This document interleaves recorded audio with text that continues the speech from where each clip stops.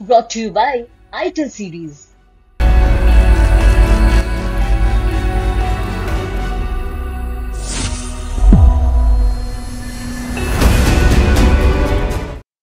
Rajkot test में India ने दो डेब्यू देखे एक सरफराज खान का, जिनकी कहानी, जिनके पिता, जिनके परिवार और उनके खुद का स्ट्रगल अब जग ज़ाहिर है बहुत ही इंप्रेसिव उनका डेब्यू रहा। उनके साथ एक और डेब्यू होता है, वो होता है ध्रुव जुरैल का, जिनकी कहानी महज दो सालों में, यानी यूपी के उस पहले फ़र्स्ट क्लास मैच से इंडिया के राजकोट टेस्ट तक। ऐसी बदली कि सिर्फ़ मानो कि एक सपना हो, जो हर कोई जीना चाहता है, हर वो क्रिकेटर जीना चाहता है, जो शुरुआत, जो अपना पहली बार क्रिकेट बैट जब हाथ में उठाता है। तो ध्रुव जुरैल की भी कहानी कुछ ऐसी है कि आज हर कोई देख रहा है कि इंडिया के लिए खेल रहे हैं, पर इसके पीछे की कहानी क्या है, इसके पीछे का स्ट्रगल क्या है, वो हम आपको बताते हैं। ध्रुव के पिता एक हवलदार थे आर्मी में और चाहते थे कि उन्हीं की तरह उनकी लेगेसी ध्रुव आगे लेकर जाएँ और आर्मी ज्वाइन करे या फिर कोई सरकारी नौकरी ले ताकि एटलीस्ट परिवार जो है, वो उनका फ्यूचर फाइनेंशियली थोड़ा सिक्योर रहे। पर ध्रुव के मन में था कि क्रिकेटर बनना है और क्रिकेट वो अच्छी खासी खेल रहे थे। पाँच साल के थे ध्रुव।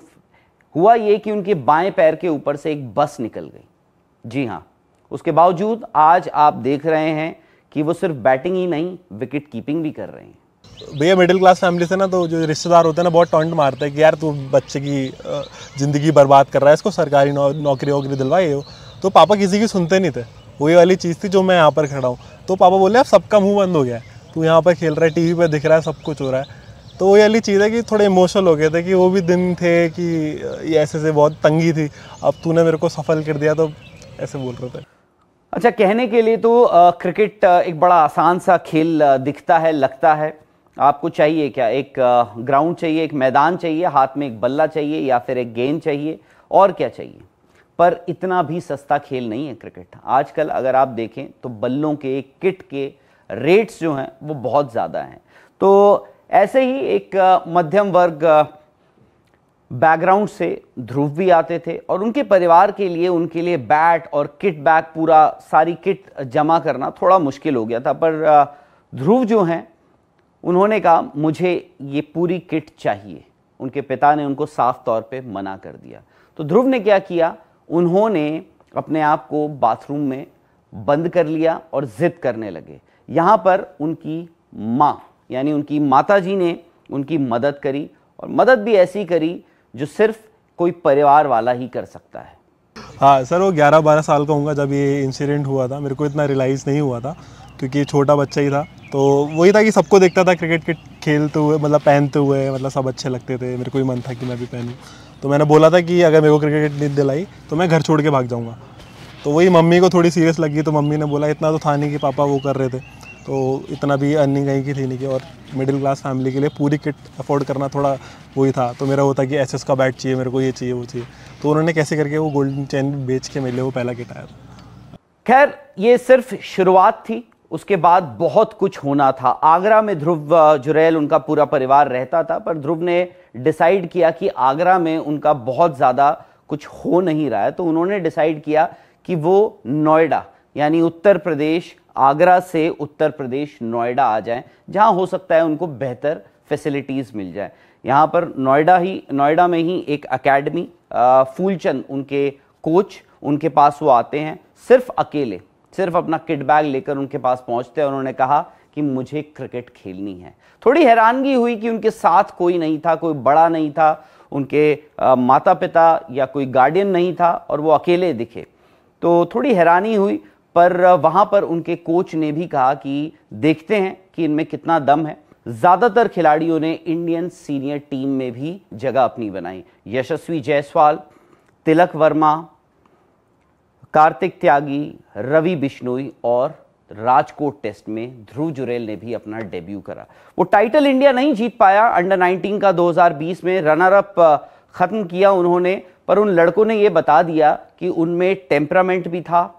और स्किल भी थी कि वो इंडिया सीनियर टीम के लिए खेल लें।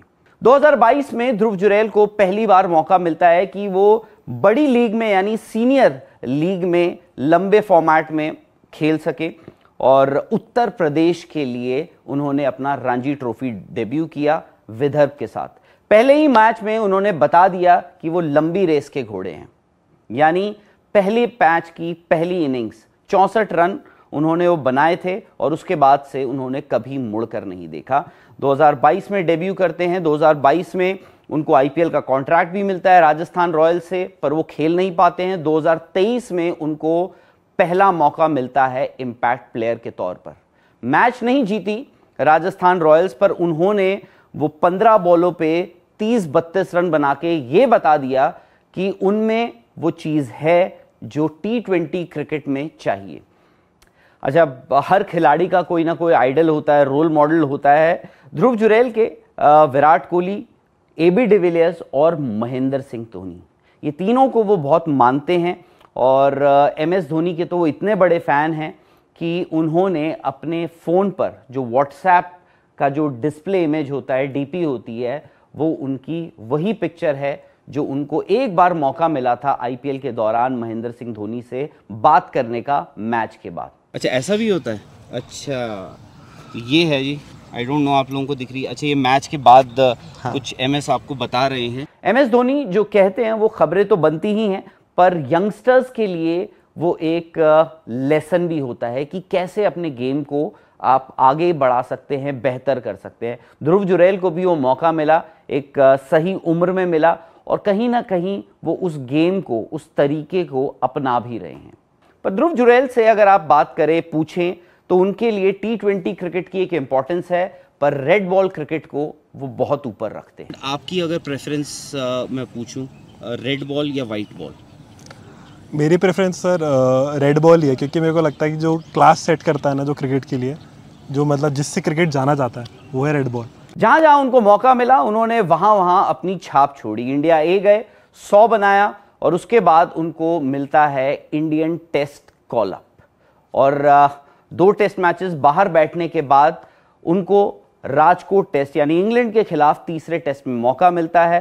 पहली पारी 42 रन और एक बहुत ही महत्वपूर्ण पार्टनरशिप और उसके बाद ध्रुव जुरैल को अब सिर्फ़ देश ही नहीं, दुनिया भी जानती है। मैच से जुड़े आपके हर सवाल का हम देंगे जवाब। जानने के लिए हर update live analysis special interviews download कीजिए स्पोर्ट्स तक ऐप